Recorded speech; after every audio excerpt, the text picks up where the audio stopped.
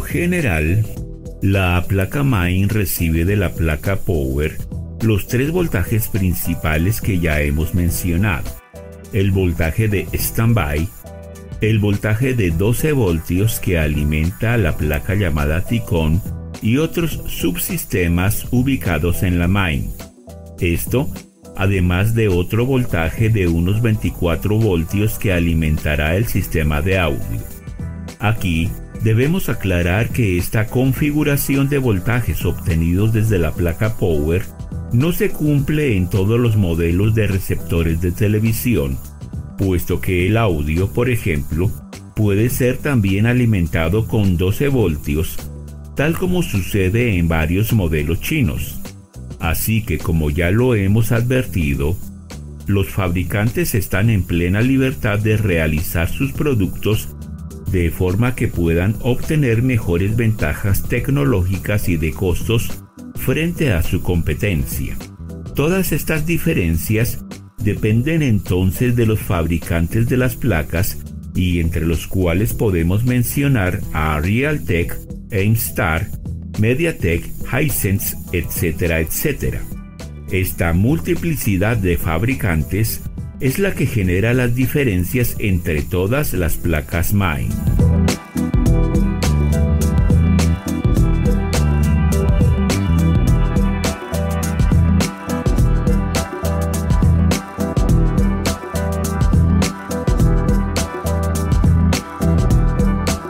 Pero hay una constante y es la presencia del voltaje denominado standby y que debe llegar a la main de forma permanente, puesto que con este voltaje el sistema trabaja en modo de espera.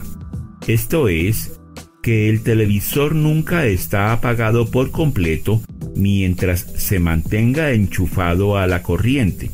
Así, el televisor puede recibir en cualquier momento y por intermedio del sensor de infrarrojos o el pad de control la orden de encendido y para esto deberá estar trabajando permanentemente el One Chip o el micro. Así que el testigo del buen funcionamiento de este proceso es el piloto LED del televisor. Este no solo indica que el televisor está enchufado a la corriente, sino que también indica que el sistema está trabajando. Y en un momento dado, si se presenta alguna falla del tipo lógico o de hardware, por intermedio de un código de flasheos, este LED nos puede decir qué tipo de falla se está presentando. El código de flasheos cambia también dependiendo del fabricante de la placa o la marca y el modelo del televisor. Esto se debe a que en la placa main existe un sistema de autodiagnóstico que también se encuentra funcionando permanentemente y con el propósito de impedir el encendido si se ha detectado algún problema en el sistema.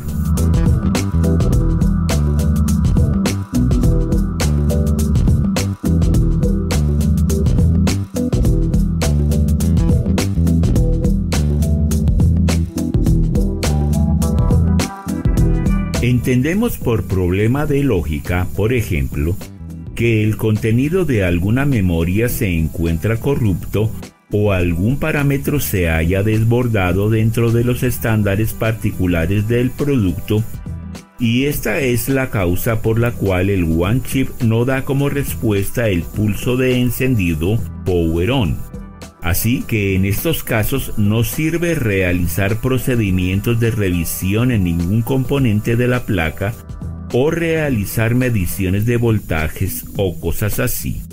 En estos casos, el servicio técnico debe enfocarse primero en regresar a la unidad a los valores normales de funcionamiento y para esto el técnico debe saber ingresar y navegar en el modo de servicio del televisor. Pero también, y por esta misma razón, es que la placa MAIN cuenta con el mencionado puerto UART para que en los casos en los cuales no sea posible el ingreso al menú de servicio por cuanto el televisor no enciende, Entonces, el One Chip envía este diagnóstico a través del puerto UART en el momento en que se recibe la orden de encendido o se energiza el televisor. Su propósito es el de tener una indicación más completa de la causa que impide el encendido de la placa, si este es el caso. Este autodiagnóstico se denomina log del sistema y puede ser visualizado mediante una interfase serial conectada al puerto UART y con un software adecuado. Esto, además del código de flasheos que emite el LED piloto testigo del receptor.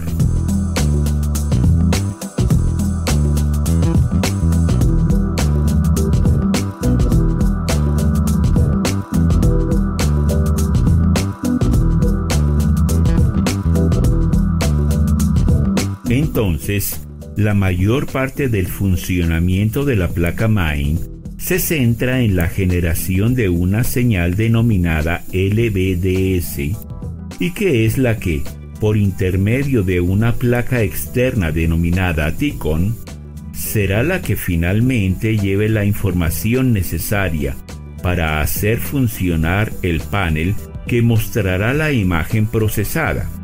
Esto se hace a través de una cinta denominada flex, cinta que incluso lleva los voltajes de alimentación a la Ticon y el panel.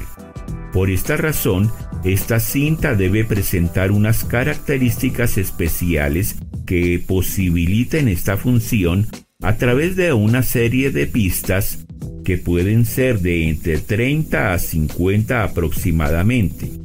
El One Chip envía al panel de video la señal LVDS en forma de 5, 8 o hasta 10 pares para las definiciones de HD, Ultra HD o Full HD y dentro de las cuales se incluyen los sincronismos, señales de colores básicos codificados, señales de reloj, Heida y Besa, mirror e inversión horizontal.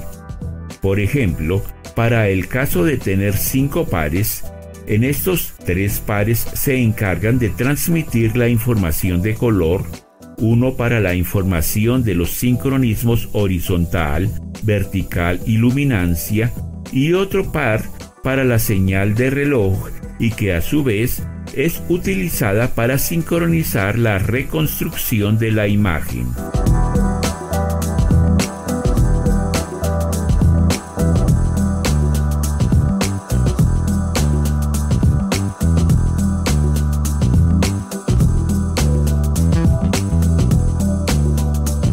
La señal LVDS, siendo una señal del tipo digital y en formato TTL, que transporta una elevada cantidad de información, presenta características de señal análoga, puesto que puede ser medida entre los 300 y los 500 milivoltios pico a pico, entre los pares y con un osciloscopio, pero que con respecto a tierra alcanza valores aproximados de unos 1.2 voltios a unos 1.8 voltios.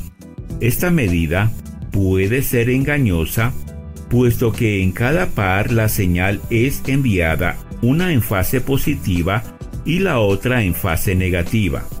Por esto, debería ser que una medida diera diferente valor en la positiva y en la negativa, pero en realidad las medidas son de un nivel muy parecido cuando se toma esta con respecto a tierra.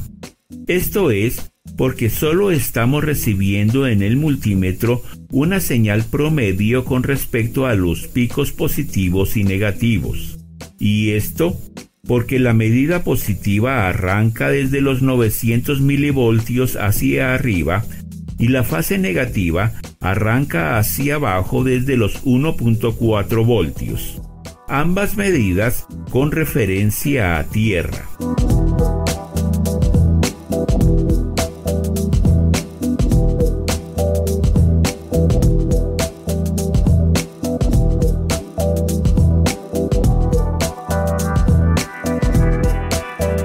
Muchas de las placas MAIN incluyen también en sí mismas la llamada TICON o tarjeta controladora de tiempos para la señal de video, lo cual tiene ventajas diversas como la reducción de los ruidos EMI que atacaban con frecuencia a la cinta flex, produciendo una diversidad de problemas con la imagen. Con este cambio, también se evitan los problemas generados en la vía de alimentación del atico. Recordemos que la alimentación se enviaba a través de varias vías, alternando también en ellas las líneas de GND, con el propósito de no recargar en un solo par de pistas toda la corriente requerida por el conversor de CDC de la TICON y también los voltajes de polarización del panel. Al incluir esta en la misma MAIN, se pueden enviar directamente estos voltajes de polarización al panel, hecho que libera a los flex de muchos de estos problemas.